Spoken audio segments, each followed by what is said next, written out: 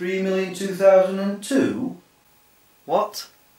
Sorry, I was talking to my future self from the end of this video. Mm-hmm. Don't worry about it, Percy. He believes he can communicate with his future self. I don't know why, or when. Haha, yes he is. Mm-mm.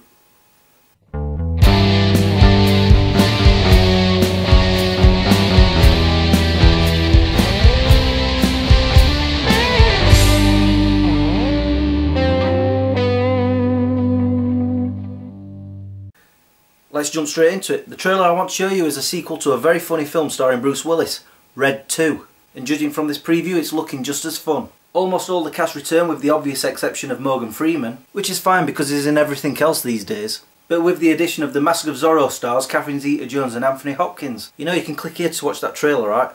The movie's UK release date is set for the 2nd of August. Wait, that's this week. My future self from next month has informed me that the film is good and you gave it a... Be quiet. Now, I don't normally review albums, but seeing as I got it on the day of its release, I had to. The soundtrack to Man of Steel.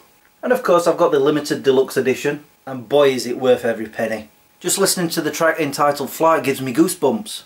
Masterfully done by Hans Zimmer, who at the moment seems to do no wrong, with help from a lot of friends including none other than Junkie XL and Pharrell Williams.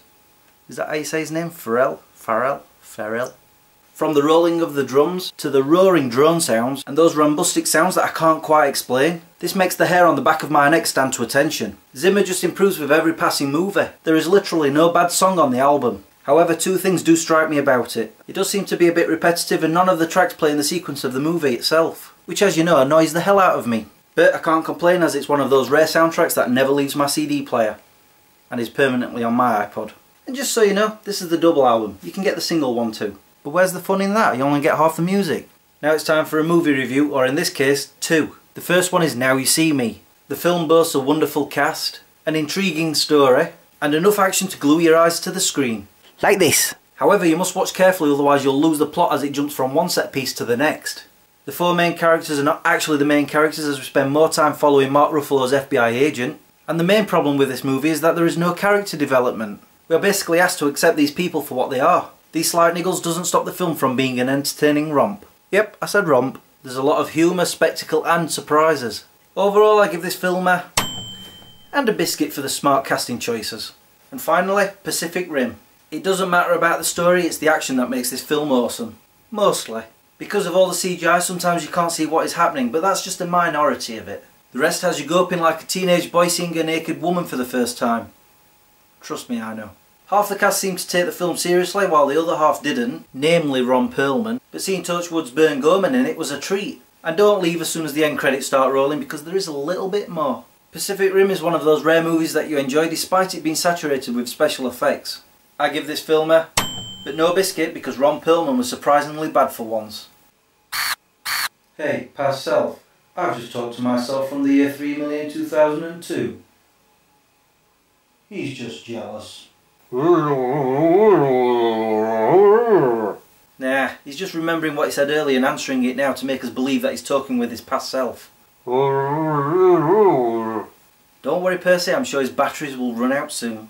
They almost run out three days from now, but I was able to recharge them by going into the basement. I'm not worried. Jump cut.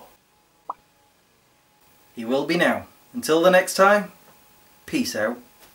I didn't see that one coming. It does seem to get a bit repetitive and none of the tracks seem to play in the sequence of the movie. I'm getting whole hot and sweaty. That's not good. However, you must watch carefully, otherwise you'll lose the plot as it jumps from one set piece to the next. I'm losing the plot myself. Pacific Rim is one of those rare movies that you enjoy with help from a lot of The four main characters are not actually the main characters as we spend more as we spend more. I need to be more wordy. wordy? I need to convey better. I'm hot, I'm sweaty, I have wet pits. Yada yada yada, done. Thanks Percy. Mm -hmm.